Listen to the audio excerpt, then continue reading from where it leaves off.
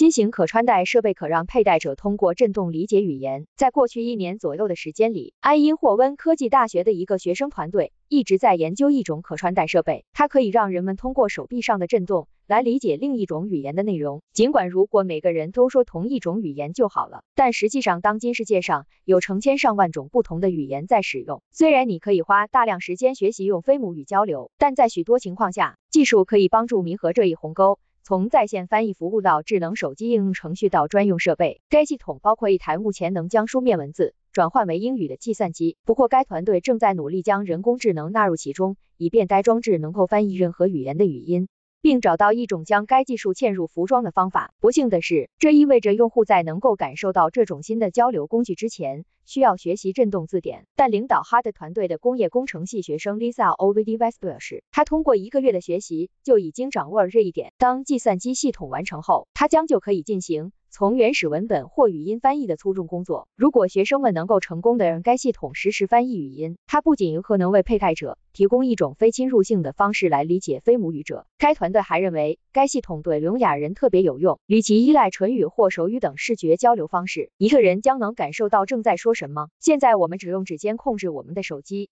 Hard 团队的创始人莫伊亚特 China 说道：“想象一下，能使用你身体的其他部分来更容易的接受信息，如通过你皮肤上的震动，这种可能性是无穷无尽的。该项目的工作仍在继续。”